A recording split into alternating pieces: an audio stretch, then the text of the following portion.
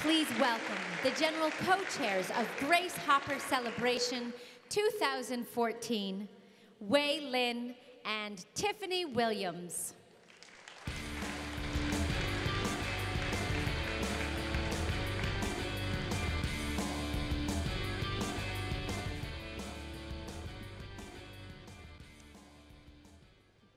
We are very pleased to introduce our keynote speaker, Arati Prabhakar.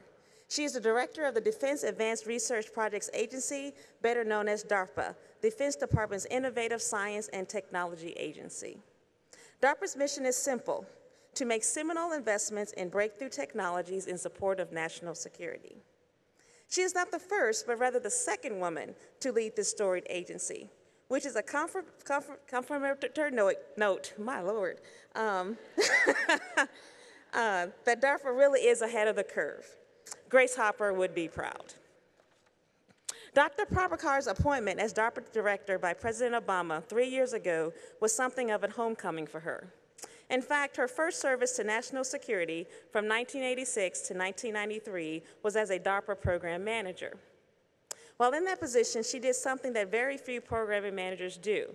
She catalyzed the creation of a new office for the agency, the Microsystems Technology Office, based on her early realization at that time that the emerging field of microelectromechanical systems was poised to revolutionize science and technology across the board. She went on to become the inaugural director of that office, but was called to a new level of public service in 1993 when President Clinton appointed her director of the 3,000 person National Institute of Standards and Technology, or NIST, the nation's premier agency for all things related to standards, metrology, and manufacturing technologies. And as a part of the Commerce Department, a keystone agency at the economically critical intersection of government and industry. Dr. Prabhakar moved to Silicon Valley in 1997 first as Chief Technology Officer and Senior Vice President at Raychem, and later as Vice President and then President of Interval Research. From 2001 to 2011, she was a partner with U.S. Venture Partners, an early-stage venture capital firm. What an incredible experience to bring back to Washington, and what a great skill set to apply in service of the United Nations. I'm sorry, American people. Throughout these uh, complementary stints in the public and private sectors, all built on an educational foundation that included a bachelor's degree in electrical engineering from Texas Tech and a master's degree in electrical engineering and PhD in applied physics, both from the Caltech. Dr. Prabhakar has remained focused on one overarching theme, investing in world-class engineers and scientists to create new technologies and businesses, and focusing, that is, on people. And in so doing, bringing all the right ingredients together to make seemingly impossible possible. Please welcome to the stage Arati Prabhakar.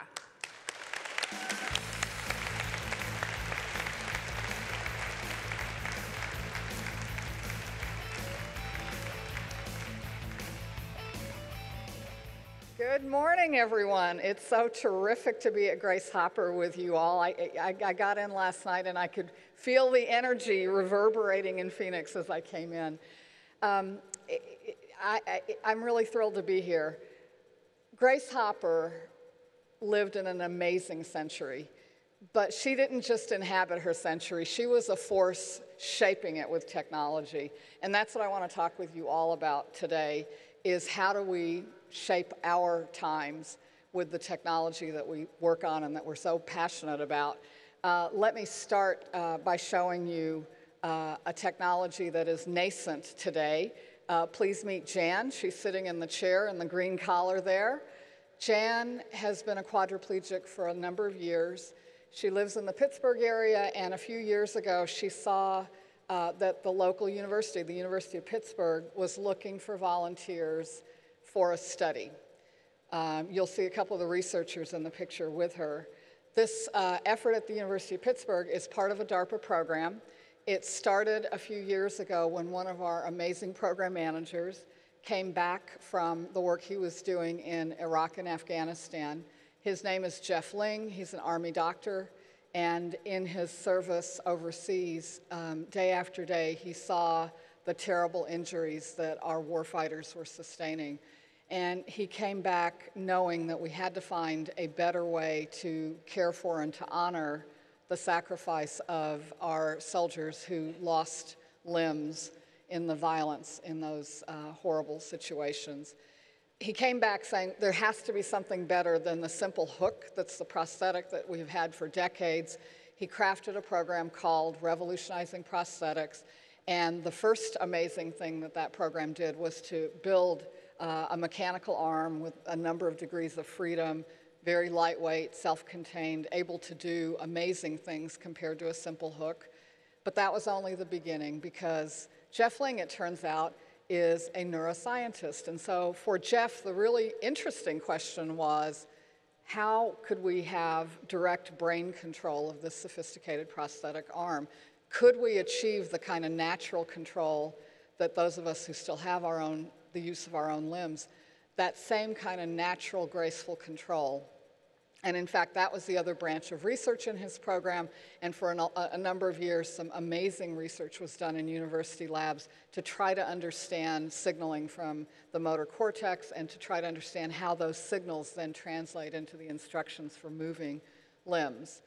All of that work culminated in the last few years in some very early human trials. And so when Jan saw the notice from the University of Pittsburgh a few years ago, they were looking for the first humans to try having this experimental procedure. And Jan decided that she was going to volunteer uh, to do this. Uh, a genetic disorder had left her without the use of her limbs, but of course her motor cortex was still working just fine.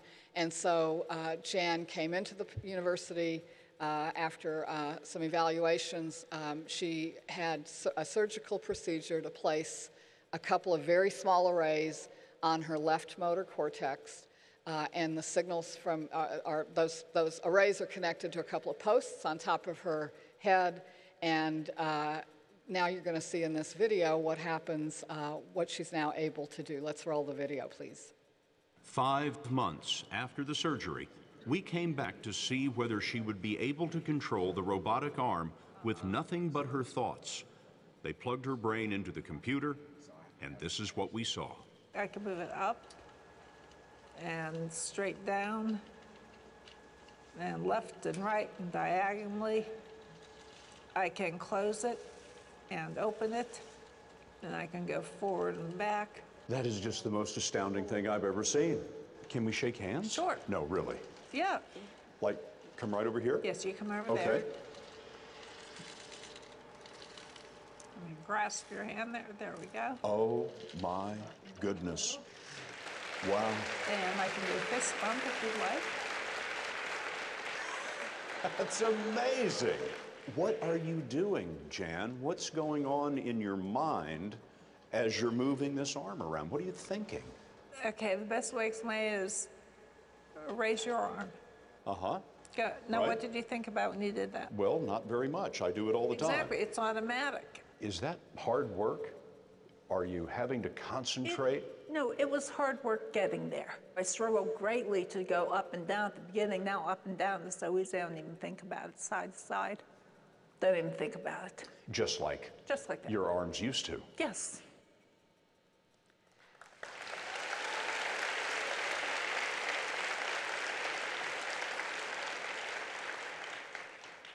Jan, Jan is an amazing person. In the work that she's been doing and that this research uh, program has been doing, uh, they have done two things. First, they have opened a door to move beyond rehabilitation to restoration of function. Uh, that's an amazing step. And beyond that, I think if we use our imaginations, we can also see another door, a further door.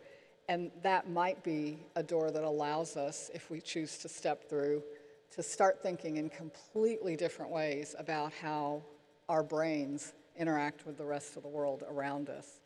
um, it, I think we're at the beginning of something that could be extremely powerful. That's the business that we're in at DARPA. Um, we have, this is one of about 200 programs in my agency. What I'd like to do in my time with you today is to tell you our story at DARPA and to tell you about the things that we are working on today that we hope will be part of shaping the times that, that we live in. Uh, and I'll speak for a little while, but uh, we'll have plenty of time for questions afterwards, and I'd love to hear from you as well. Um, my agency is the Defense Advanced Research Projects Agency.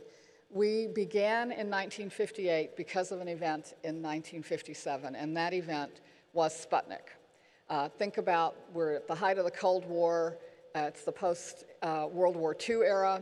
We have uh, robust research and development activities in, across uh, the federal government and in private enterprise in the Defense Department, in the business of national security, we knew from the Second World War how important research investments were and how important those core technologies were in, in turning the tide of that war.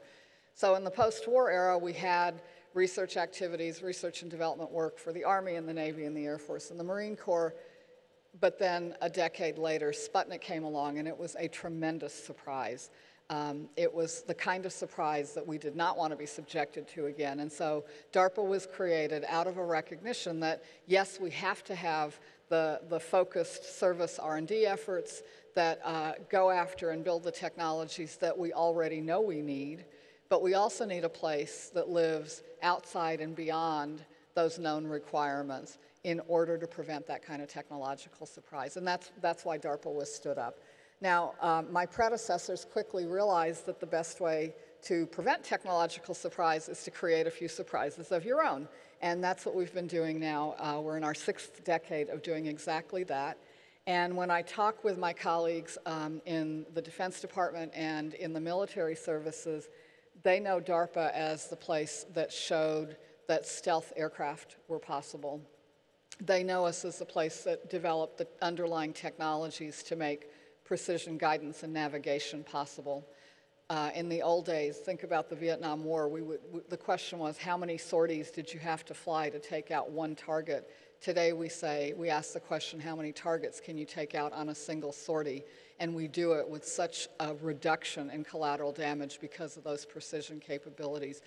We, we've been part at DARPA of building the technologies that have changed the business of warfighting and the business of national security.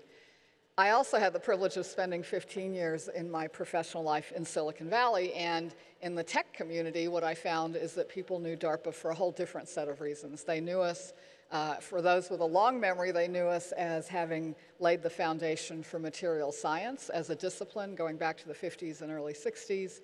They knew us, uh, of course, for uh, first and foremost and iconically for doing the early work, the ARPANET uh, investment that led ultimately to the internet, the foundation for, for the internet and the web that we have today. They knew us uh, for the contributions we had made across VLSI, um, uh, semiconductor process technologies, MEMS technologies, RF semiconductors, uh, artificial intelligence, many, many, many other areas. Uh, and, and the reason for those two views is very simple. We, we uh, have always been in the business of breakthrough technologies for national security.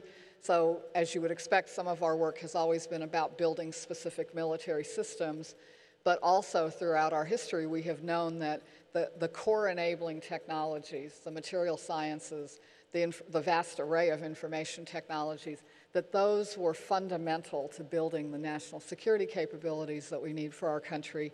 And we we now know from many decades of history that those investments actually also often spill over and provide the foundation for vast private investment that over time can build exciting new products, incredible companies, and whole industries. Uh, and that duality is something that you'll see in the work that we'll continue to do. Now, nothing I have told you about DARPA's great history uh, was accomplished by my organization by itself. Uh, we're actually a very tiny organization. We're only a couple of hundred government employees. We're a small fraction of the nation's investment in R&D, but we, we are able to make those contributions because we're part of two ecosystems. One is the military R&D ecosystem um, that we work with very, very closely. And the other is the broader technology ecosystem. It's university researchers, It's people in companies large and small, companies who are, are in the defense business and others who are simply commercial companies. It's labs of all different types, uh, government, not-for-profit, uh, all different types of research entities. Within those two ecosystems, though, DARPA has a specific role, and that is, I think, really why we have been able to be uh, a leader in participating in all of these revolutions, because our role is to make the pivotal early investments that change what's possible so that we can take these huge strides forward in capability. And that role is unchanged across uh, now 56 years at DARPA. Uh, the world that we live in, though, is very, very different. And if you think about how much geopolitics has changed in six decades, if you think about how much technology has changed in six decades, um, today, the environment that we live in is one where we face uh, a very wide spectrum of national security threats. Um, when I served at DARPA early in my career, from when I arrived in 1986, we were in the middle of the Cold War, which seemed as if it would last forever, and then uh, uh, amazingly ended before our eyes just a few years later. Today, we don't face just one big monolithic existential threat. Uh, today we are dealing, as you know, every day you can open the newspapers and see what we are dealing with, the, the chronic problems of national security as instability leads to violence and ex as extremism flares up in different parts of the world, uh, as those activities are linked to terrorism and to criminal activity, those networks become the chronic challenges to our nation's security. At the same time, we do worry as well about the acute things that could, uh, that could burst forth. And so we watch what other countries are doing as they pursue their own national interests and as our economic role in the, in the world shifts, as many other nations around the world. Great news as they advance, their, their, their standard of living is rising, their role in, in uh, world affairs is growing, but of course that changes uh, our, our national security environment as well. So it's a very complex national security environment. The technology world has changed as well. Uh, for many of us of my generation, we grew up in technology at a time when uh, technology, many of the most exciting technologies began in the United States, blossomed here. Often we had many decades of uh, lead or advantage over the rest of the world. And as you all know, in the work that we're all doing today, that's not the technology world that we live in today. Uh, amazing advances are happening around the world. The capacity to commercialize and to use those technologies has grown and grown around the world. Tremendous uh, advances for humanity and for people in every part of the world, but again, important implications for those of us who uh, are responsible for keeping our country safe in the years ahead. Uh, and then in addition to those external factors, geopolitics, technology changes, we're also living in an interesting time within the national security world because of the complexity of the systems that we're striving to build. Uh, if you think about uh, advanced fighter aircraft, if you think about the complex satellites that we have to put on orbit today, these platforms have gotten so massive, so complex, so costly, so slow moving, so inflexible that in a sense we're almost tripping over our own feet. And those are the, those are the, those are the uh, aspects of the environment in which DARPA today is doing our job for the next generation. So the mission is unchanged, the world is different. Let me tell you what all of that means in terms of the programs that we're doing. Uh, and let me mention three areas. I'll start with the work that we're doing to fundamentally rethink complex military systems. This work is uh, closest uh, to the system side of the national security mission that we have, and our uh, core approach is to think about areas like space, uh, things like uh, how we control the air, uh, how we fight on the ground, how we build the electronic warfare systems that allow us to communicate and to use radar, but also to control the electromagnetic environment how do we rethink how we build those systems so that we can have the kind of agility that we really need? Uh, a very great, let me just give you one example so you, you, I hope we'll get sort of the picture of where we're trying to go. Today, when you want to build an advanced uh, space capability, that's an expensive undertaking to build a complex satellite. Uh, and then it can be you know years before you're able to schedule launch. It's a very costly, you know, tens of millions of dollars to boost this uh, capability onto, on, on orbit. Uh, what that means is that, that when we know we need new space capabilities, it can be years before we get them. The cost is prohibitive, and so there are things we simply don't do as a consequence. Well, guess what? The world has changed. Space has changed. In the last couple of decades, we've seen this huge surge of commercial capabilities on orbit.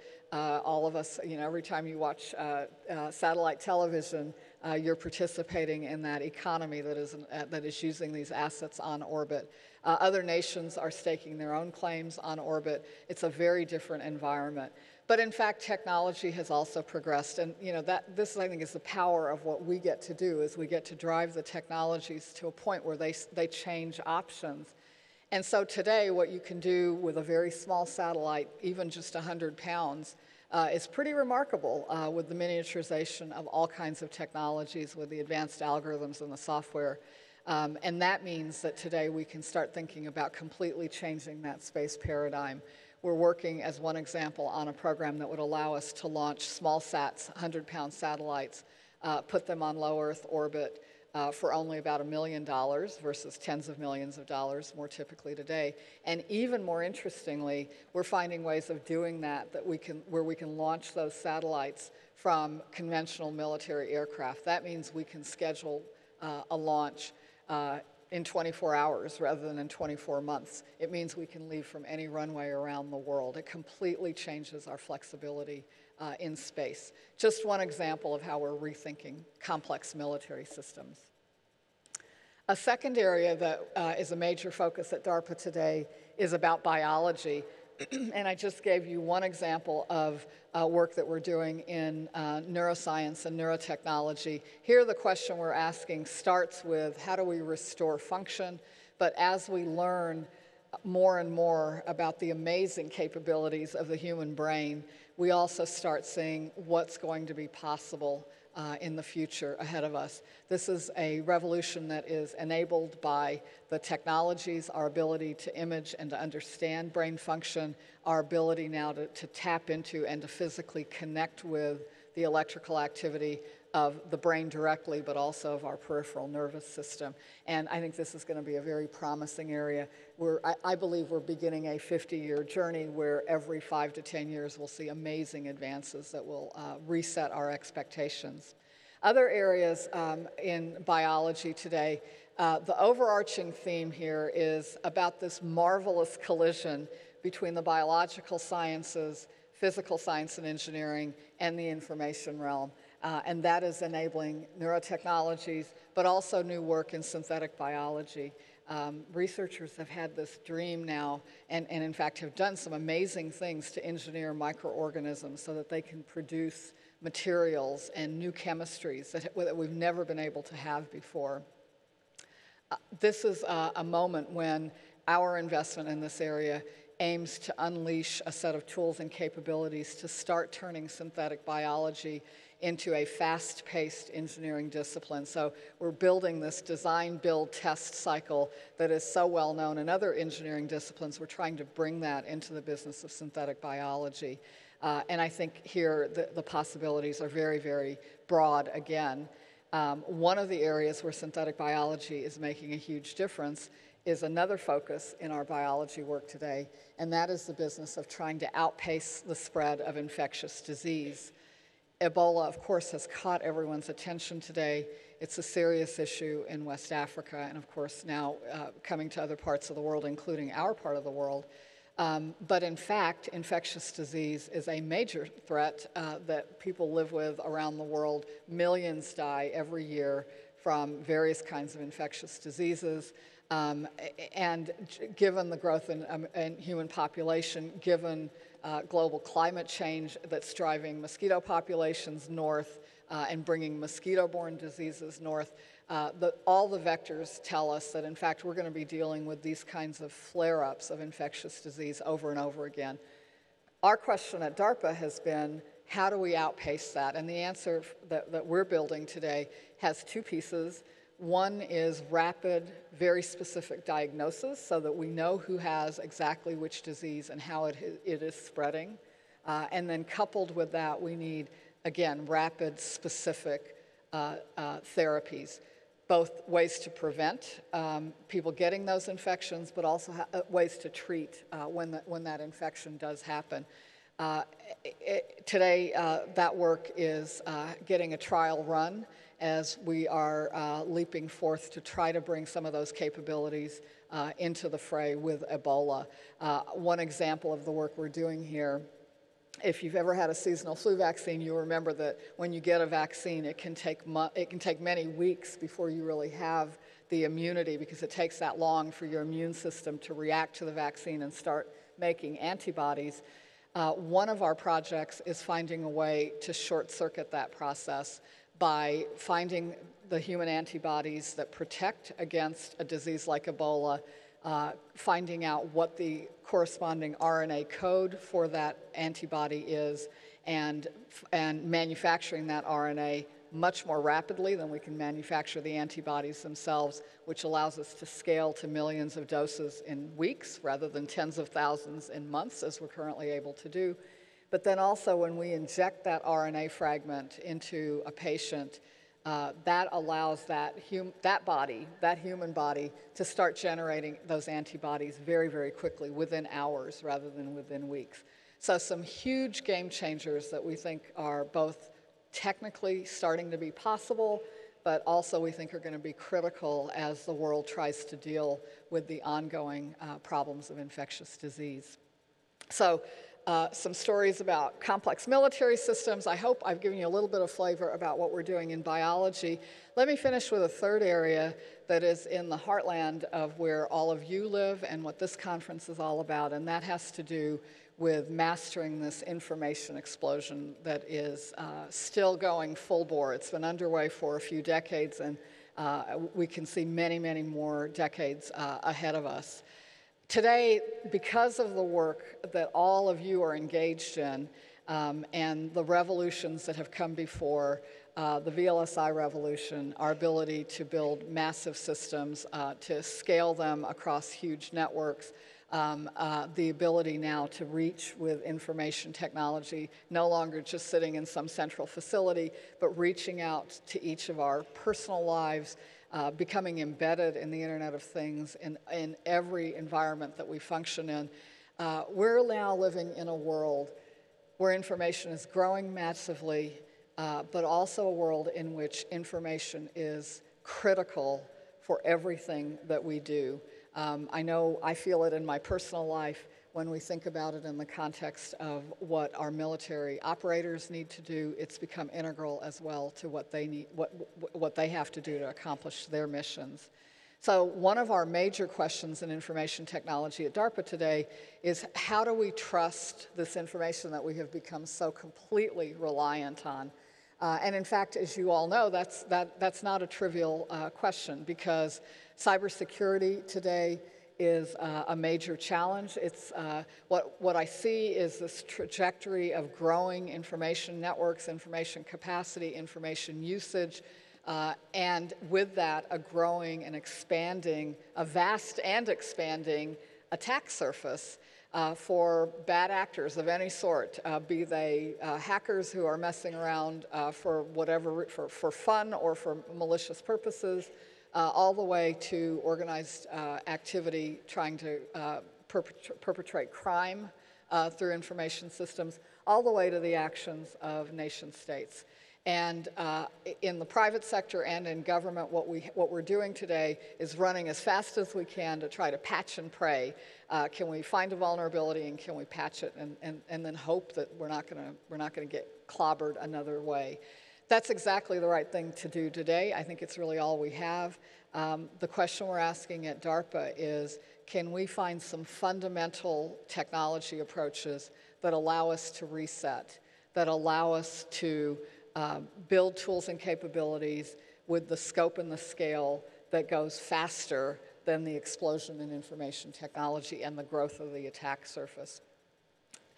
I'll give you a couple of examples. One is work that we're doing recently uh, to try to scale formal methods so that we could build embedded systems, for example, for um, uh, the, the kinds of small uh, OSs that uh, you'll find in many of the devices in the Internet of Things.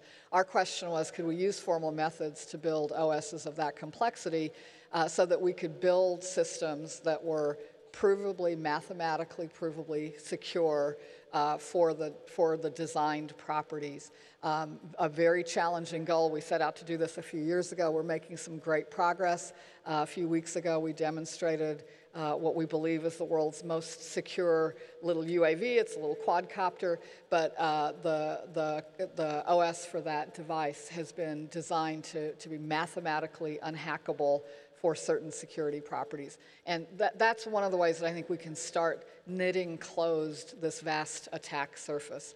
Uh, another major uh, new program at DARPA is something called uh, Cyber Grand Challenge, and it's a program that recognizes that uh, as attacks that are coming to our networks are moving at machine speed and are being generated by machines, human beings are simply not going to be able to keep up because when a machine is generating attacks at machine speed and we are responding at the speed at which we can type, we know we've got a problem. Uh, the Cyber Grand Challenge uh, aims to create a league of their own for machines to start fighting it out among themselves. And what we'll do is essentially create a capture the flag kind of competition uh, that's only for automated systems. We'll have our first trials uh, next June, and then a year from that, in June of 2016, we're going to be next door to capture the flag at DEF CON. We'll be having our own uh, league for machines to fight it out. And my hope is that we will start seeing uh, a growth in automated cyber defense capabilities, ultimately that will become tools that all of us can start to use, again, to get ahead of this explosion in information space and the vulnerabilities that come with it. So trusting the information systems that we use. The second part of the equation is, is how do we, instead of just drowning in all the information that we have, how do we start using that information to solve some big problems? And let me just give you one example out of that program. We have a new program called MEMEX. Often at DARPA, when a program manager has a great idea uh, and they think is gonna that's going to change the world, they start by doing a little seedling effort to see if they can convince themselves that there's something here. Uh, in the case of this program, uh, the seedling effort asks the question, can we build a way to, build, to do deep crawls through the web, go in, into the deep web in specific domains, and start mapping the relationships among websites in a way that would give us insights uh, that could lead to uh, a way to look into criminal networks. Uh, we started working with a law enforcement group that was working on human trafficking. They happened to be working in the Dallas, Texas region, and so our project looked at Backpage ads in Dallas uh, which is a place where a lot of sex trade is now, has now moved. Uh, and what we did was we simply looked at ads, extremely public information, but uh, what we did was build a tool that allowed us to see the hidden linkages among those ads. So for example, um, uh, you know, a, a, law enforcement investigator would be exploring that information space the way you or I explore the web. They'd be doing a Google or Bing search and they would be sort of single threaded going through this vast collection of websites, and they would be trying to find patterns. What our tool did was figure out how all those uh, websites were linked to each other. So, for example, certain phone numbers showed up over and over again on uh, multiple websites. And we built cluster maps where you could see which, which of those phone numbers or links seemed to be repeated. All we knew was that they showed up frequently. We didn't really know what else was going on. We built a list of 600 phone numbers from our work uh, from public sources. We threw it over the fence to our law enforcement partners, and they compared those 600 numbers against their arduously built database, you know, from conventional law enforcement means uh, a database built up over an extended period of time. And to our mutual surprise, they found that over 400 of our phone numbers related uh, directly back to uh, known criminal offenses. That was pretty interesting. That's when they started getting interested. Uh, and then they found that 30 of those phone numbers tracked back to fund transfers in the regions surrounding North Korea. And so now we have given them a tool that allows them to focus their work and start looking at uh, what, what they, they believe might end up being uh, some important human trafficking networks that are moving uh, young girls out of North Korea uh, and bringing them into this country uh, for really, I think, the most appalling thing that is happening uh, in our society today.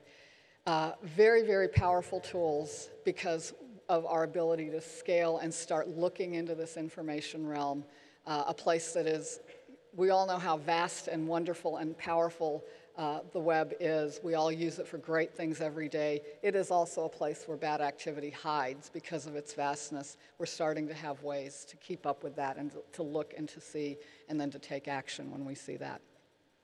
So I hope I've given you some great examples this morning about work that we are doing to shape the times that we live in with powerful technologies.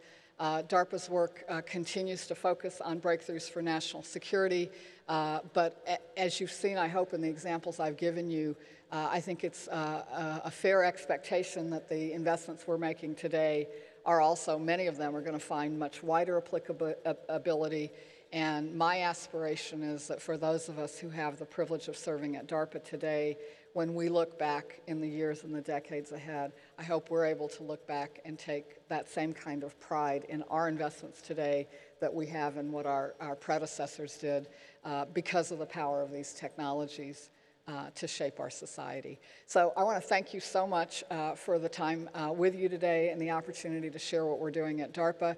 Uh, I would love to hear your questions. If you want to come on up to the microphones, uh, love to have a little discussion with you. Thank you very much.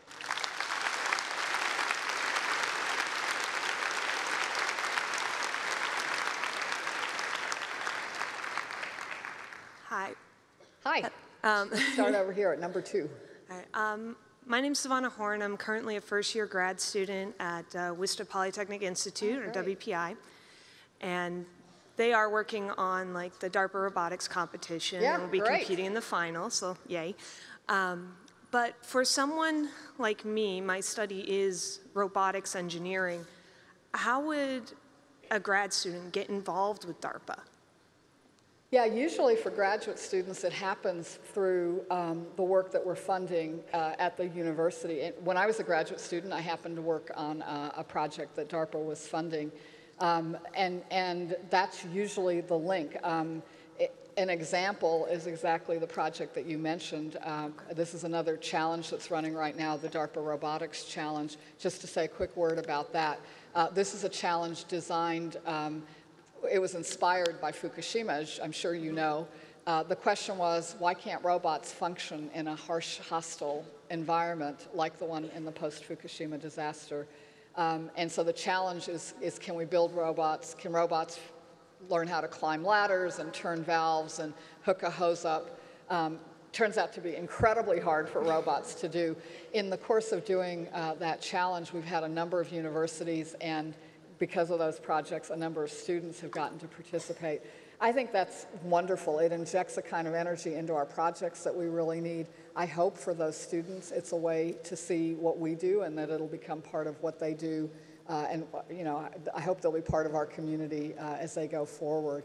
But whether or not you're participating in that uh, work today, um, you know, wherever, if you end up doing uh, research in the areas where DARPA is focused, I hope you'll find a way to participate. Send us a proposal when you see something we're doing that you care about. Thank you. Please, right over here. Hi, my name is Shiri Dori-Hacohen. I'm from UMass, a PhD student. So first of all, thank you so much for coming to speak with us. It's we really appreciate it.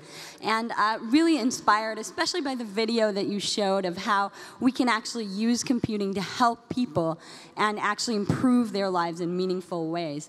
Um, given that, I want to ask you, you know, I'm half Israeli, half American, and I, I, was flabbergasted by your comment about moving war to robots. So why is moving what, war? What did I say? Exactly? No, but you were saying capture the flag, you know, ah, robotic yeah. defense. Yeah. So I, I'm, I'm really confused. Absolutely. Why is it better to fight with robots instead of just stop fighting? Yeah, I'm, I'm, I'm all for it. You know, I, I, think that's exactly right. Um, it turns out not everyone on a planet of 7 billion people feels that way, and, and our job, others have other roles in the community, but my job at the moment is to make sure that our nation is able to meet our national security interests and needs. Now, the specific answer about robots, uh, I hope I was clear that in the Cyber Grand Challenge, the problem there is that the, the way that attacks on our cyber infrastructure come are moving to automation, and the human beings are simply not going to be able to keep up with it. You can't throw enough people at that problem to keep up with the pace at which attacks come. And that's an environment where I think automation is going to be important simply because of the response time and the scale. So speed and scale will be the reasons. The other reasons that we use um, automated systems or robotic systems in uh, the military context is to protect our, our, our soldiers' lives. And, um, you know, I, think that there, I, I, think it's also, maybe I should just take a minute and be really clear. Uh, what you see in Hollywood movies is Hollywood. What we're trying to do is build fact and distinguish it from science fiction. The DARPA Robotics Challenge we were just talking about was a great exercise in recalibrating us about what robots can actually do today, especially in the complex ground environment. Uh, one of the highlights I had at the DARPA Robotics Challenge last year was watching a robot, you know, lumber up to a ladder that it was supposed to climb and then spend six minutes looking at the ladder because that's where we are. And we're right. going to get much, much better. But uh, all of that is motivated by uh, our desire to make sure that we can do what we need to do uh, and keep our people out right. of harm's way. Absolutely. And I just want to mention the reason I bring this up is I think that as women, perhaps we're uniquely posed to say, hey, let's just let's just stop for a minute and think instead of figuring out better ways to fight, let's just sit down with the other side and see what can we do to stop the fighting. So thank you so much I'm, for listening. I think you're absolutely right.